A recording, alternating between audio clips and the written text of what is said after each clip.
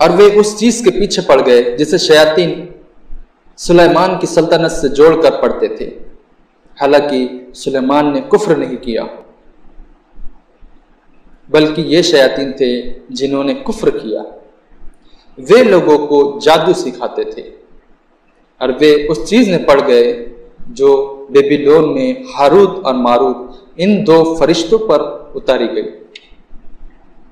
जब उनका हाल ये था कि जब भी किसी को अपना ये फन कला सिखाते तो उसे कह देते कि हम तो आजमाइश के लिए।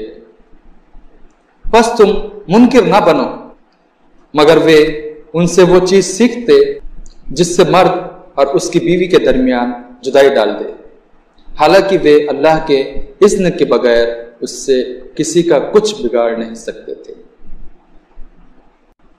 और वे ऐसी चीज़ सीखते जो उन्हें नुकसान पहुँचाए और नफा ना दे। और वे जानते थे कि जो कोई इस चीज़ का खरीदार हो, आखिरत में उसका कोई हिस्सा नहीं। कैसी बुरी चीज़ है जिसके बदले उन्होंने अपनी जानों को बेच डाला।